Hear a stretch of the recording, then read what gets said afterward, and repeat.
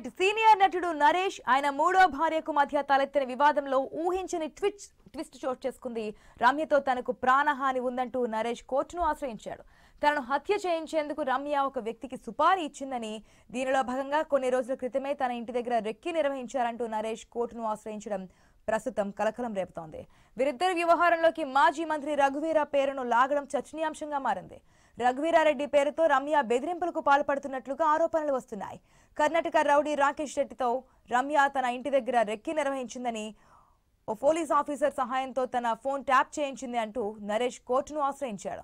ఇక రమ్య వేధింపులు తట్టుకోలేకపోతున్నారని తనకు విడాకులు ఇప్పించాల్సిందిగా కోర్టును కోరాడు. అంతేకాక పెళ్ళైనప్పటి నుంచి రమ్య తనను వేధించేదని తిండి కూడా పెట్టేది కాదని ఆరోపించాడు. పైగా ప్రతి ఫంక్షన్లో మద్యం తాగి రచ్చ చేసేది అని చెప్పుకొచ్చాడు. రమ్యకు తన మీద కన్నా కూడా డబ్బుపైనే ప్రేమ ఎక్కువ ఆస్తిని కాజేయడానికి ప్రయత్నించింది అంటూ ఆరోపించాడు నరేష్.